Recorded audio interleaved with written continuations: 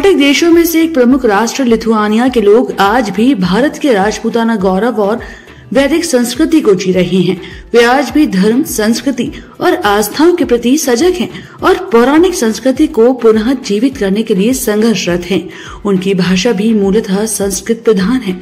इस सत्य को दृष्टिगत रखकर कला एवं साहित्य को समर्पित अखिल भारतीय संस्था संस्कार भारती ने समान धर्मादेश के साथ स्नेह संबंध जोड़ने की एक अनूठी सांस्कृतिक पहल की है। इस पहल के अंतर्गत लिथुआनियन सांस्कृतिक दल कुलग्रिंडा भारत में 12 फरवरी रविवार को आ रहा है।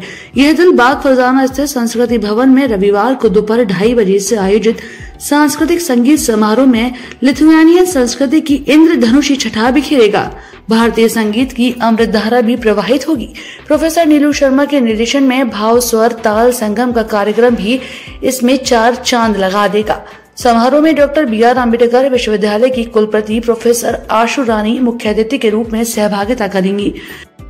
अध्यक्ष आगरा सराफा एसोसिएशन, यहाँ संस्कार भारती द्वारा 12 फरवरी को जो बाल्टिक देश लिथुआनिया है, वहाँ से एक कलाकारों का एक ग्रुप आ रहा है।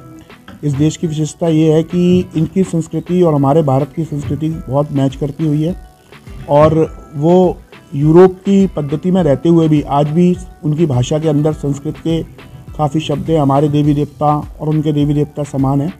तो जो यूरोप की संस्कृति में रहते हुए और हम वो आज भी हिंदुस्तानी परंपरा को मान रहे हैं तो कहीं ना कहीं ये बात तय है कि वैदिक धर्म का पूरे विश्व में कहीं ना कहीं रूप रहा होगा। और उसी के तहत ये कार्यक्रम यहाँ किया जा रहा है। उनकी यहाँ प्रस्तुति बारह तारीख को, यहाँ दोपहर ढाई बजे से होगी।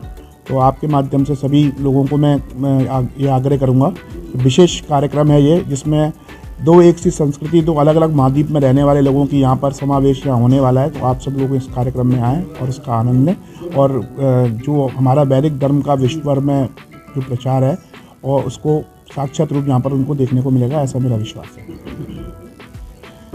लिथुनिया बाल्टिक देश से जो लोग आ रहे हैं संस्कार भारती उनका स्वागत करती है। और ये बहुत अच्छी पहल है जो इस तरीके के जो देश हैं, जिसमें भारत संस्कृति के लोग अभी भी हैं और भारत की संस्कृति को मानते हैं और उनके यहाँ शादी संबंध, शादी भी जो होती है तो भारतीय संस्कृति के हिसाब से फेरे फेरे फेरे के द्वारा होती है। तो वो लोग आ रहे हैं, बारह तारीख का उनका एक प्रोग्राम है। उसके लिए सभी जनता से आग्रह करता हूँ कि सब लोग आएँ उस प्रोग्राम में।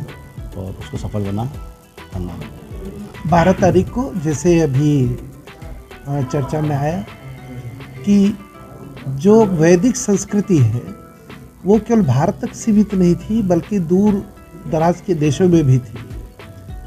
भारत उनको सभी को, वैसे तो वसुधैव कुटुंबकम का ध्येय वाक्य हमारे उपनिषदों से लिया गया है। और आप देख ही रहे हैं कि आज भी तुर्की देश को भी भारत ने सहायता भेजी है। दोस्ताने में, परिवार मानते हुए भी, मानते हुए ही। इसी तरीके से जो बाल्टिक देश है, उनके स्पेशली लिथुआनिया का एक समूह आ रहा है, कलाकारों का। वो यहाँ पे अपनी कला का प्रदर्शन करेंगे, भारतीय कला, कलाकार भी होंगे, वो भी अपना प्रदर्शन करेंगे। कला का एक्सचेंज होगा, आदान प्रदान होगा और बेसिकली ये एक सभ्यता का आदान प्रदान है। दोनों संस्कृति, हमारी संस्कृति मिलती जुलती है, उसी संस्कृति में एक कल्चरल अफेक्शन के लिए ये प्रोग्राम आयोजित किया जा रहा है।